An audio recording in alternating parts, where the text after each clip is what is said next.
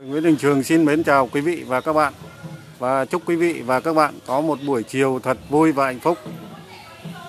Hiện tại Nguyễn Đình Trường đang đứng ở chùa Nhạ Phúc, xã Nại Yên, Hoài Đức, Hà Nội các bạn. Là lễ hội truyền thống tổ chức từ ngày mùng 8 đến ngày 12 âm lịch các bạn.